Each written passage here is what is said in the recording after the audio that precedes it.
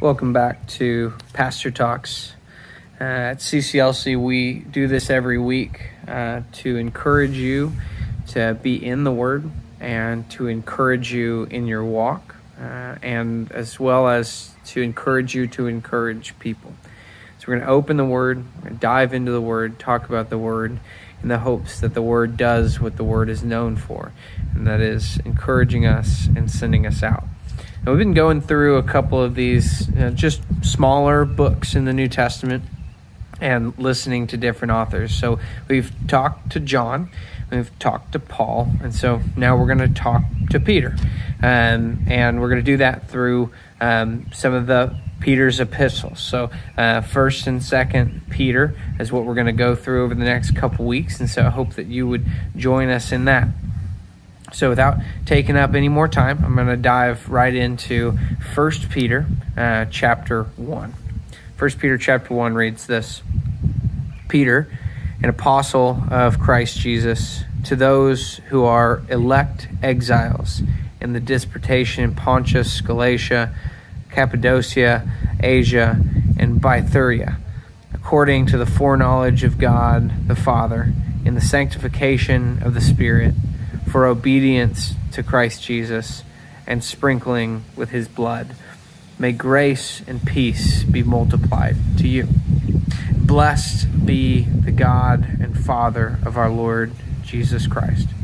According to his great mercy, he has caused us to be born again to a living hope through the resurrection of Jesus Christ from the dead, to an inheritance that is imperishable, undefiable, and unfading, kept in heaven for you, who by God's power are being guarded through faith for a salvation ready to be revealed in the last time.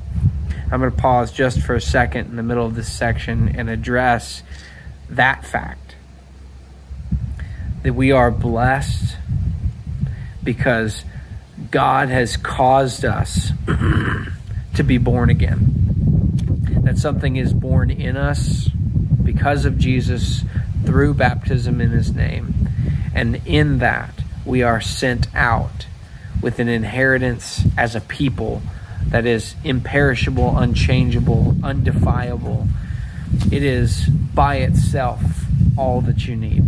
Good, keep reading with me. Verse 6 says, In this you rejoice though now for a little while, if necessary, you have been grieved by various trials, so that the testing genuineness of your faith, more precious than gold that perishes when it is tested by fire, may be found to result in praise and glory and honor at the revelation of Jesus Christ, through whom you now see him. Do you love him, though you have not now seen him? You believe in him and rejoice with joy that is inexpressible and filled with glory, obtaining the outcome of your faith, the salvation of your souls. You rejoice in that. We take life in that.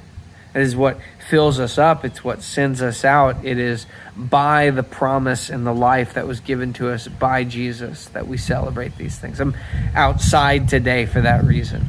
That it is beautiful today. It is green. It is cool.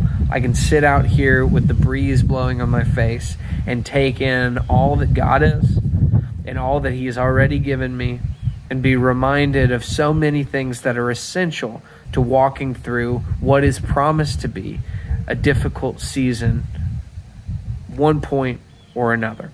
That there is a moment that is difficult, and we walk through those in the promises that He's given us. Good, keep reading with me, verse 10. Concerning this salvation, the prophets who prophesied about the grace that was to be yours searched, inquired carefully, inquiring what person or time the Spirit of Christ in them was indicating when he predicted the sufferings of Christ and the subsequent glories.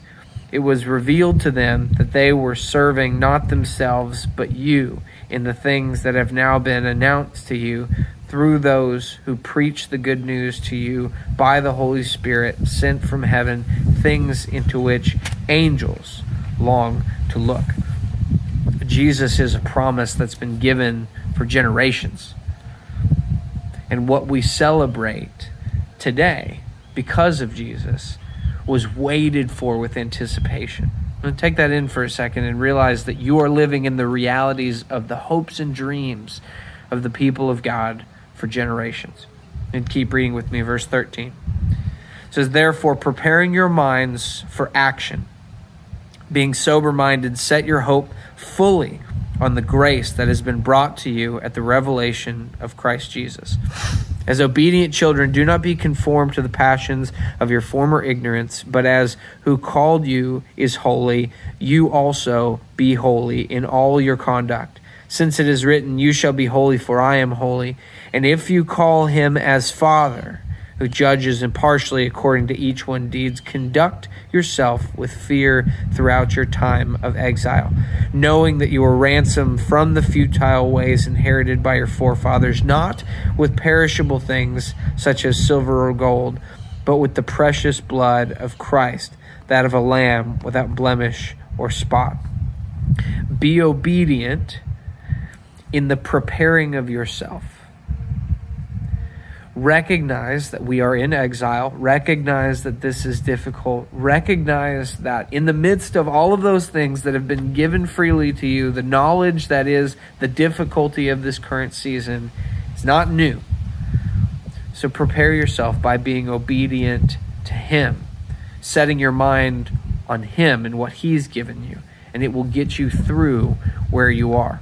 Go ahead and keep reading with me, verse 20 says he was foreknown before the foundation of the world, but was made manifest in the last times for sake of you, who through him are believers in God, who raised him from the dead and gave him glory, so that your faith and hope are in God. Having purified your souls by being obedient to the truth, for a sincere brotherly love, love one another earnestly from a pure heart since you have been born again, not of perishable seed, but imperishable, through the living and abiding Word of God. For all flesh is like grass, and its glory like the flower of the grass. The grass withers and the flower falls, but the Word of the Lord remains forever. And this Word is the good news that was preached to you. The good news does not change, the good news does not wither.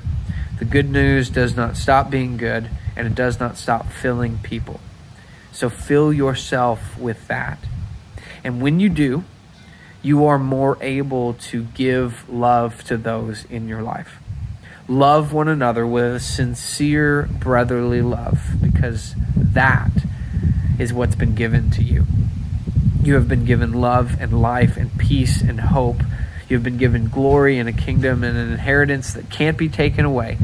And because of each and every one of those things, we look at the person across from us with love, grace, life, peace. So that's what I leave you with today. The good news you are filled, you are whole, you are clean, and you are sent out to be something that the world is not. Be set apart, be holy. I'm going to pray over you. But before I do, I want to remind you that our church, the Christian Church of Loudoun County, has a worship night every Wednesday from 6 to 7. And what we do is we just, it's a very light, very uh, casual, uh, informal worship time. One, two, three songs, a quick devotional thought, some light discussion, and we leave being filled with all that He is and all that He's called us to be. I hope you'll be there with us tonight. 6 o'clock to 7 o'clock. And if you can't, I hope you're with us in spirit. I pray over your day, and I hope it's blessed. Father, you are good, and what you've given to us is good. So, Father, help us to be then good stewards of what is good, to be reflections of what is good, to be carriers of what is good, to be life givers, peace bringers, reflections of a good and perfect Heavenly Father. Thank you so much for Jesus Christ, who gives us each and every one of these things. And it's in his name that I pray. Amen.